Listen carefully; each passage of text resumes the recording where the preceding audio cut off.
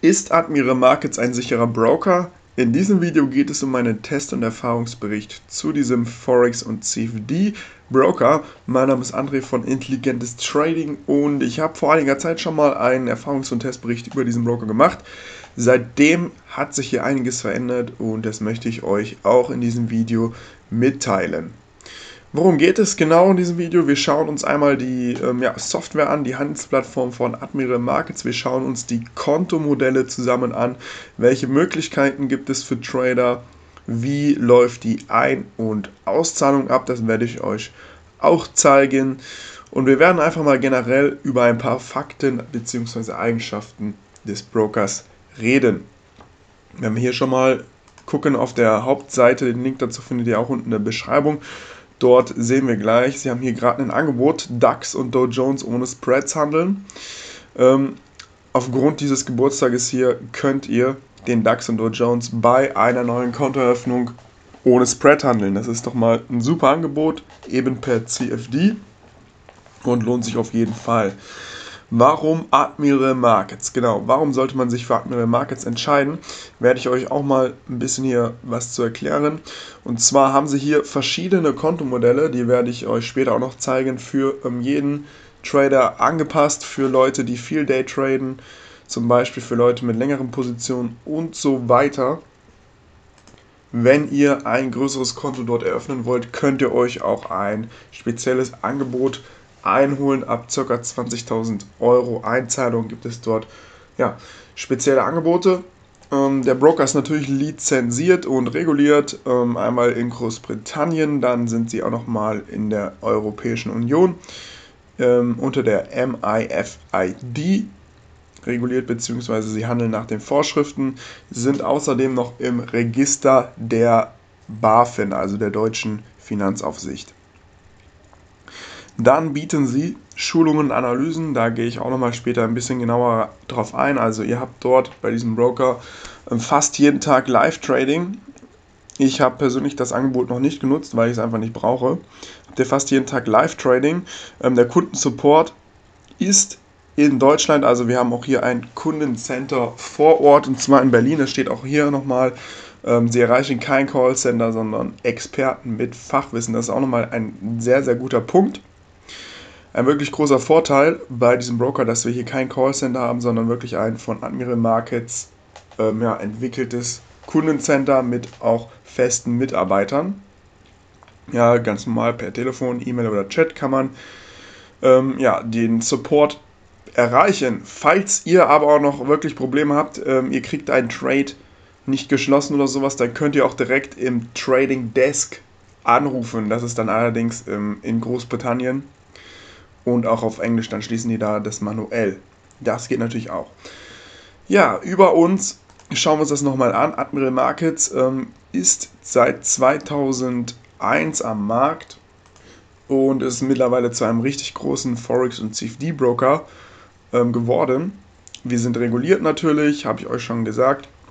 Und jetzt schauen wir uns mal die Kontomodelle an. Also was gibt es hier für Kontomodelle? Gehe ich nochmal auf die Startseite. Hier wird auch schon gleich was angezeigt. Dann gehe ich mal hier die besten Trading-Konditionen. Ähm, und da sehen wir gleich, hier gibt es drei verschiedene Sachen. Einmal das Standardkonto Admiral Markets, das ist ein typisches Spread-Konto, da wo der Broker eben am Spread verdient. Dieses Konto kann man ab 200 Euro Einzahlung eröffnen. Demokonto sollte klar sein, ist hier kostenfrei verfügbar bei Admiral Markets. Ähm, jetzt werde ich auch schon gerade angeschrieben.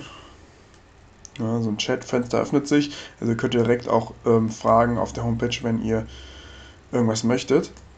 Ja, wie gesagt, Mindesteinzahlung 200 Euro bei dem Standardkonto, bei dem Spreadkonto. Hier haben wir ähm, ja, verschiedene Währungen, 31. Wir haben sogar jetzt auch Kryptowährungen bei Admiral Markets, wurden neu hinzugefügt. Wir haben Metalle, Energien, ähm, Indexe, Indexe Futures. Wir haben US-Aktien, 64 Stück.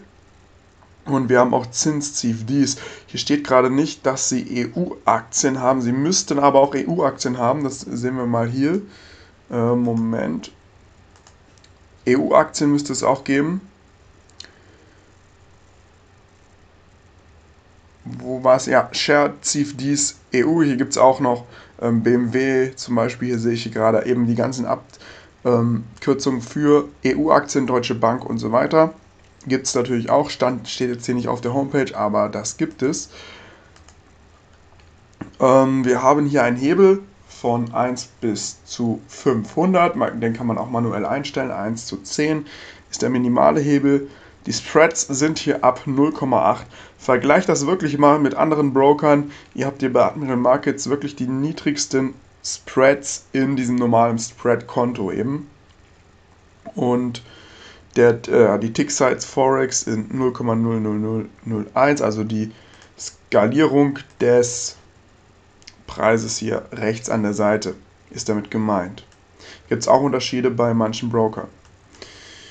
Ja, dann gibt es das Admiral Prime Konto. Das gibt es ab 1000 Euro. Das ist ein ECN-Konto, also ein wirkliches ECN-Konto. Da seid ihr direkt an der Börse, werdet durchgeleitet. Ähm, ihr habt hier Interbanken Spreads, also ab 0 Pips, wirklich keine Spreads. Und welche Gebühren zahlt man da? Da zahlt man maximal 3 Euro pro einem Lot Positionsgröße. Würde ich jetzt hier einen Lot ähm, Euro US-Dollar Long gehen zum Beispiel, müsste ich diese 3 Euro direkt am Anfang zahlen.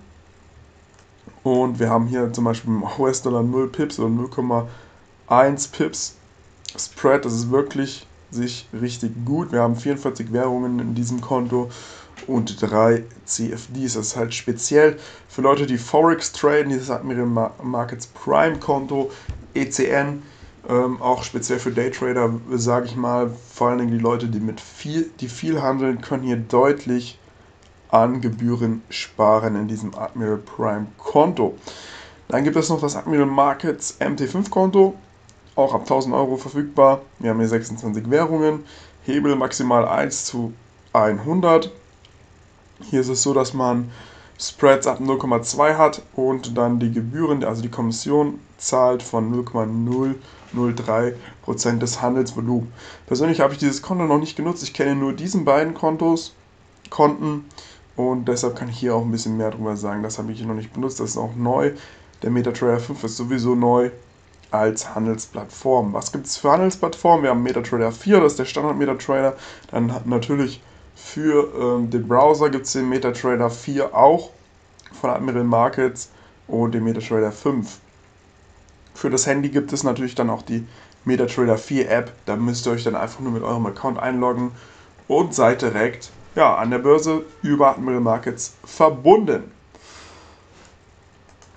Dann gibt es noch ein kleines Special und das ist zwar der MetaTrader 4 Supreme Edition. Das kann sich jeder kostenlos runterladen. Das, ist, ähm, sind, das, das sind kleine Widgets. Hier steht nochmal alles beschrieben, also die den Handel deutlich vereinfachen können.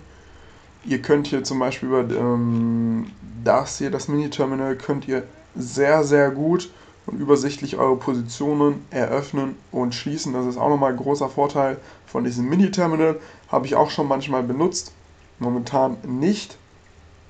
Aber wer das mag, kann das auch benutzen. Hier gibt es auch ähm, zum Beispiel einen Autochartist, der euch, ist jetzt hier nicht aufgezeichnet, der euch zum Beispiel ähm, Trendlinien und so weiter alles automatisch einzeichnet. Gibt es auch bei Admiral Markets, das ist ja auch nochmal ein Vorteil von diesem Broker. Also wir fassen nochmal zusammen, was haben wir für Vorteile bis jetzt von diesem Broker. Zum Beispiel hier dieser Vorteil, dass wir DAX und Dow Jones für null Spreads handeln können. Das ist der Wahnsinn. Dann die Spreads schauen wir uns hier nochmal an. Also wir sehen hier beim DAX, der typische Spread ist bei 0,8. Das ist deutlich billiger äh, beim CFD Handel als bei anderen Brokern, muss ich sagen. Die anderen Broker haben dann alle ab 1 plus 1,5 ähm, Spread. Hier beim Euro-US-Dollar bei den Währungen ist es auch relativ niedrig. Vergleicht das selber mal mit anderen Brokern. Ich möchte jetzt hier in diesem Video keinen anderen Broker öffnen ähm, weil das Video über Admiral Markets geht. Ähm, aber ihr könnt es ja selber vergleichen, ihr seid ja nicht blöd. So, Admiral Markets Prime, hier sehen wir auch nochmal die typischen Spreads. 0,4, okay, sind jetzt hier doch, ist doch ein bisschen höher, nicht 0,0. Da muss ich sagen, da gibt es auch Broker, die haben ja, niedrige, niedrigeren Spread bei Admiral Markets, äh, bei einem ECN-Konto, muss ich sagen. Die sind allerdings nicht in Deutschland ansässig. Da kenne ich einen anderen Broker, aber dennoch hier nur 0,4 und 0,6 zum Beispiel im Pfund US. Da könnt ihr auch selber mal vergleichen. Das würde ich so als kleinen Nachteil sehen, dass hier bei dem ECN-Konto doch ein bisschen Spread drauf ist. Okay, ein- und Auszahlungsmöglichkeiten sind auch hier transparent aufgelistet. Also wir haben hier Kreditkarte, Skrill, Netteller, Banküberweisung, Sofortüberweisung, alles dabei, ähm, womit man eben einzahlen und auszahlen kann. Sollte kein Problem sein, für einen Trader hier ein- und auszuzahlen. Über das ähm, ja, Tun Sie kostenlos den MetaTrader habe ich eben schon ein paar Worte verloren. Das könnt, könnt ihr euch selber kostenlos runterladen. Ist ganz cool ähm, für Leute, die das mögen. Ich persönlich bin nicht so ein Fan davon. Also ich bin, benutze es nicht persönlich. Ähm, ja. Dann habe ich ja nochmal erwähnt, man kann hier ein spezielles Angebot anfordern, auch ab 20.000 Euro Einzahlung. Da kriegt man doch mal für Daytrader, die ähm, ja, speziell Forex handeln und CFDs, persönliche Angebote ab 20.000 Euro Einzahlung. Das heißt, ihr könnt nochmal günstigere Spreads bekommen und eventuell dann nochmal selber ähm, selber ein Angebot rausschlagen. Hier sehe ich auch gerade, es ist sogar ein Bonus möglich, je, je nachdem wie aktiv man tradet. Auf die 20.000 Euro Einlage ist auch sehr, sehr gut. Ich persönlich habe es nicht benutzt. Ich habe weniger als 20.000 ähm, eingezahlt. Ähm, ja. Gut, das soweit zu diesem Thema. Wer ein grö größeres Konto möchte, kann sich hier spezielle Konditionen sichern. Dann gibt es Markttechnik und Live-Trading mit Daytrader Jochen Schmidt. Hier unter Webinare seht ihr deutlich, welche äh, verfügbar sind. Die Handel, die Morgen-Session und eben auch die Nachmittags-Session. Entweder der Jochen Schmidt, der ist auch ziemlich bekannt, müsst ihr mal auf YouTube suchen, da gibt es hier noch andere ähm, ja, Moderatoren, natürlich alles deutschsprachig und ihr habt eigentlich jeden Tag ein Webinar, woran ihr teilnehmen könnt. Ja, es wird hier offiziell Live-Trading auch durchgeführt, so dass man auch als User da mit traden kann. Natürlich auf eigene Gefahren, wisst ihr Bescheid. Schauen wir uns nochmal kurz den MetaTrader 4 an in meinem, ja, in meinem MetaTrader 4 Konto. Marktübersicht ist jetzt irgendwie rechts. Ja, okay. Hier haben wir schon deutlich, hier sehen wir nochmal alle ähm, Währungspaare, Aktien und so weiter, die verfügbar sind. Ist eine Menge. Hier unten jetzt auch die Kryptowährungen, die kommen. Ich denke, dieser Markt hat noch ein großes Potenzial. Also sehr, sehr interessant. Schauen wir uns mal hier auf das Plus. Da sehen wir die Hauptwährungspaare, dann sehen wir die Metalle, Indizes, natürlich alles dabei als CFDs. Bonds haben wir, ähm, Energien, ähm, Indexe, CFD-Aktien aus der EU und so weiter. Also wir haben hier wirklich alles dabei, was man braucht. Mehr brauche ich dazu auch eigentlich nicht zu sagen. Ich kann Admiral Markets einfach nur empfehlen. Ihr habt die Vorteile gehört, was wir haben. Wir haben ähm, einmal, ich gehe nochmal auf die Startseite, deutsches Kundencenter. Wir haben einen deutschen Support natürlich, deswegen auch. Ähm, wir haben eine kleine Mindesteinzahlung ab 200 Euro. Zusätzlich ist der Broker noch ausgelegt für größere Konten natürlich. Wir haben verschiedene Kontomodelle, die habe ich euch auch eben erläutert. Für die Leute, die viel Daytrading machen, empfehle ich hier dieses Admiral Prime Konto, zumindest für den Forex-Bereich. Für den CFD-Bereich sind hier auch die Gebühren wirklich sehr niedrig. Wir sehen hier die Spreads beim Dow Jones oder DAX sind jetzt hier gerade auf 0. Regulär bei eben 0,8, also es ist sehr, sehr niedrig und optimal. Auch für das Daytrading mit CFDs.